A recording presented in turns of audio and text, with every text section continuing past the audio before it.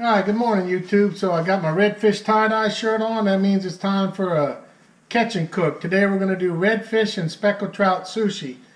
Let's see how this turns out. First thing, we'll go over the ingredients with you.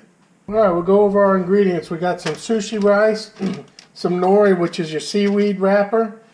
We got some uh, paprika, soy sauce, Tony Chachere's, mayo and sriracha. The mayo and sriracha is for the sauce.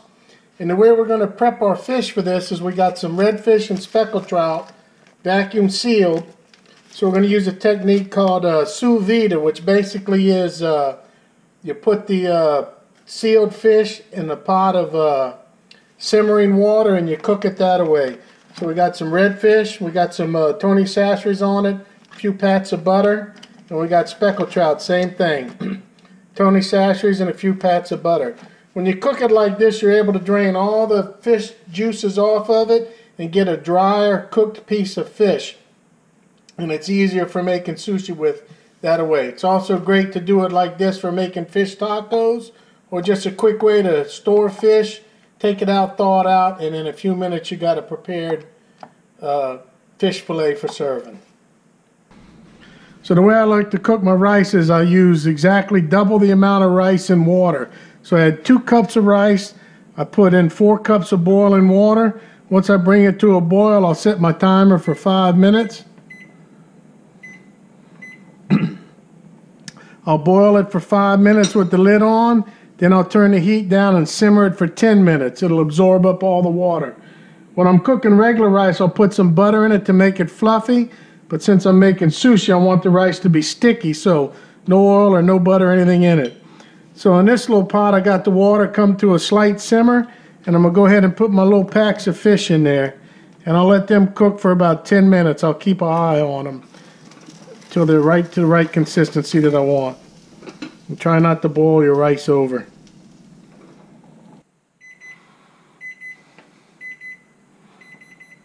Okay, at five minutes, we'll take and we'll stir our rice a little bit.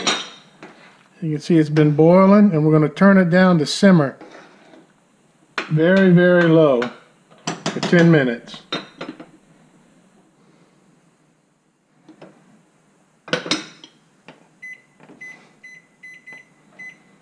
And then you can see in the first five minutes the fish is turning an opaque white, getting cooked. We'll let it go longer.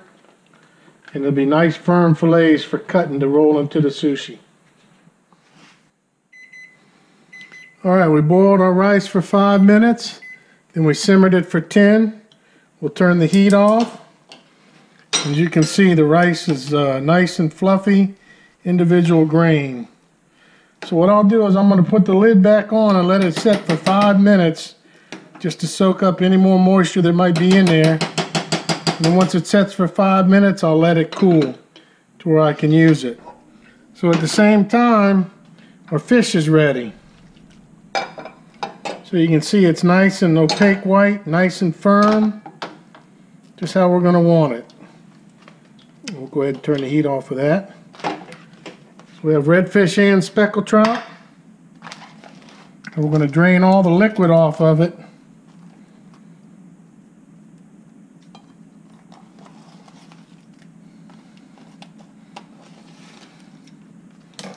And then we'll let it also cool to where it's more manageable. There's our trout. See how nice and dense the fillets cook? Here's our redfish. So we'll also let them cool to room temperature. Speckled trout and redfish. Smells delicious. Great to eat just like this or to make fish tacos or serve with a vegetable.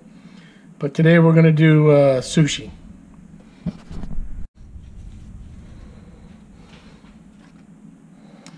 So, okay, while we're waiting on our other ingredients to cool down to get to room temperature, we're going to prep our nori, our seaweed wrap, to be able to use. So in order to make it more pliable, I'll take and lay it in between some layers of damp paper towels.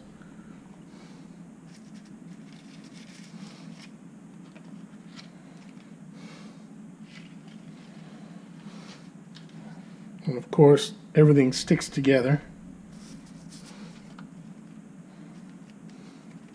I'll put one more damp one on top. Okay, so we put a towel down on a cutting board, a sheet of clear wrap, and then a sheet of the nori on top of it. Slightly dampened, and then we'll take some of our sticky rice. It's best to wet your hands, because when we say sticky rice, we mean sticky rice. And we'll put the sticky rice on top of the nori. Kind of spread it out.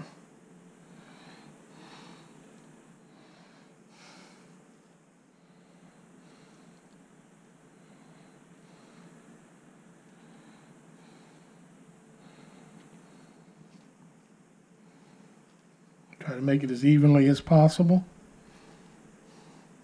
And when I say sticky, I mean sticky.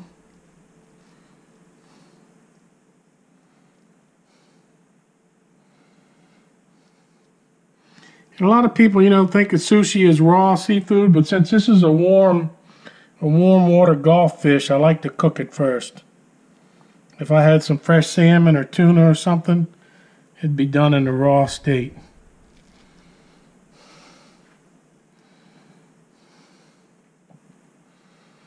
Alrighty, so we'll start off with some some red fish. So I got it kind of cut in long, long big wedges. You see how it holds together nice using that cooking technique. And then what we're going to do is we're going to take the plastic wrap and start to roll it. Get it to tuck under. The nori is real delicate, so you want to make sure you don't tear it. Roll it, roll it, roll it. These are going to be some pretty big rolls.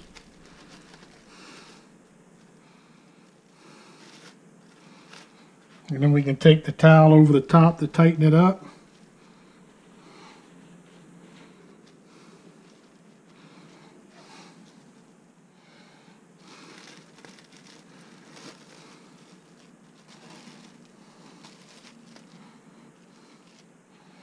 We'll set it on a plate and let it cool.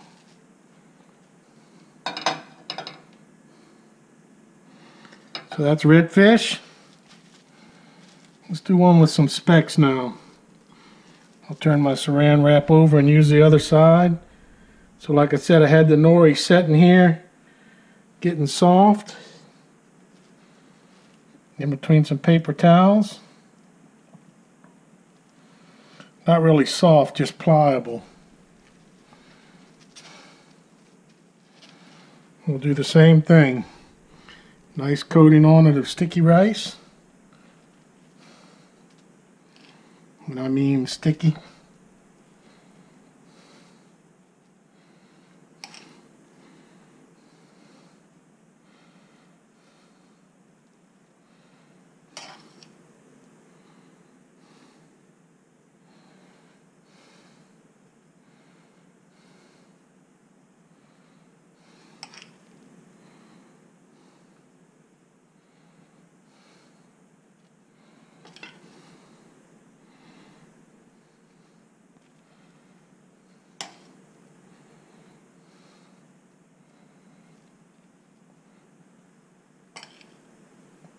Probably getting all dizzy with the camera moving back and forth, but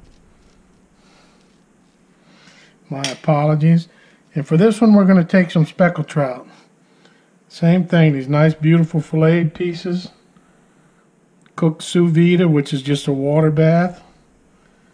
Let them start to cool enough to where you can use them. Looks like I'm going to have lots of fish today. And we'll do the same thing. Get it starting to roll with the with the saran wrap. Make sure that it tucks under.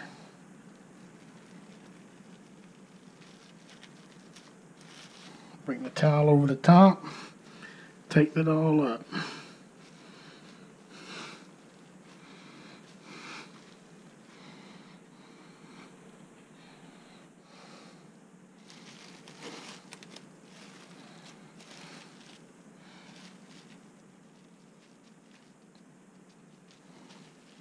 Do one speckled trout one redfish roll. And we're going to season and doctor these up in a minute. And since I got both sides real sticky, I'll start off with a new piece of saran wrap. All right, I'm going to make a little sauce to put on the top. Take about two tablespoons of mayonnaise. Tiny, tiny bit of soy sauce.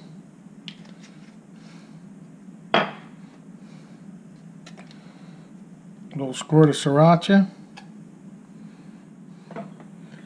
A light dusting of Tony's.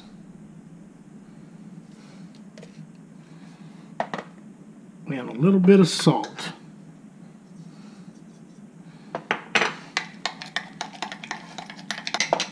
What we'll do is we'll put this in a Ziploc, snip just the corner off, and squeeze it out onto the top of our rolls. Okay, now it's time to plate it. So this is the hard part of slicing it. You need a really sharp knife and a wet towel. So what I'll do is I'll just go down the center, then I'll wipe my blade with the wet towel in between every cut.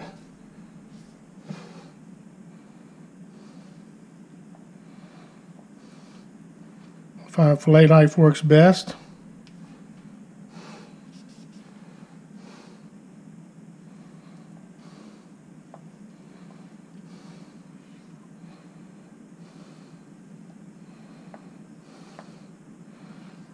These uneven ends will be for the chef.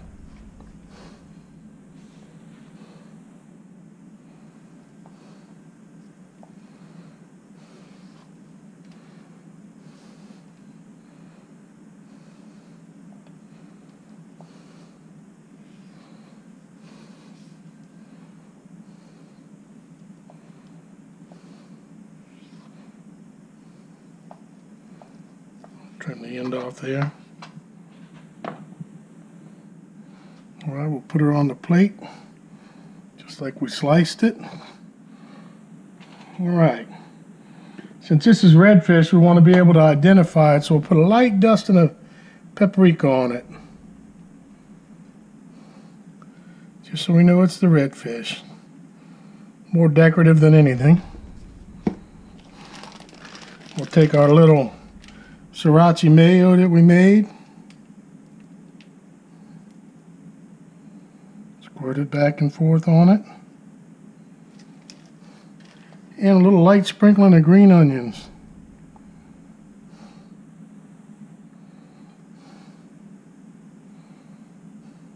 So that's our redfish. All right, we'll do the exact same thing with our speckled trout. Like I said, keep your knife sharp and wet.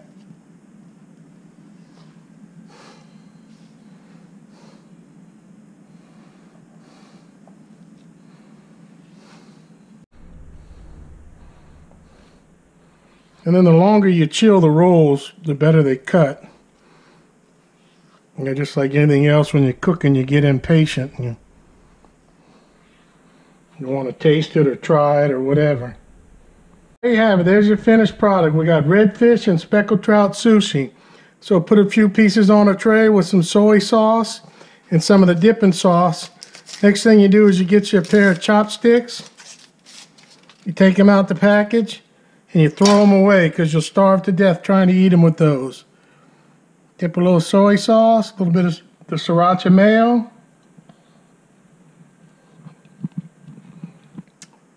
Delicious. Some of the best sushi you'll ever eat. So that's a little different twist on cooking redfish and speckled trout. Um, don't get in a rut. Don't get hung up on just frying courgettes in the same thing over and over. Try sushi, ceviche, smoking it, grilling it, whatever it takes. So thanks again to all my subscribers and everybody who comments. And if you'd like to see anything on the channel, just shoot me a message and I'll reply and we'll try to get it done. Till the next video, get out there and go fishing.